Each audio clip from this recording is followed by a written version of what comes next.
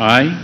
I, Srimati Usha Devi Dupron, swear in the name of God that I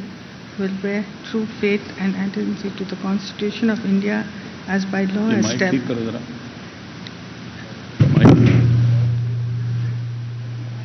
Sovereignty and integrity of India that I will faithfully and conscientiously discharge my duties as a minister for the state of Odisha and that I will do right to all manner of people in accordance with the constitution and law without fear or favor, affection or ill will. I I, Srimati Usha Devi, do swear in the name of God that I will not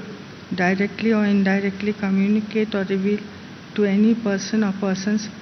any matter which shall be brought under my consideration or shall become known to me as a minister for the state of Odisha,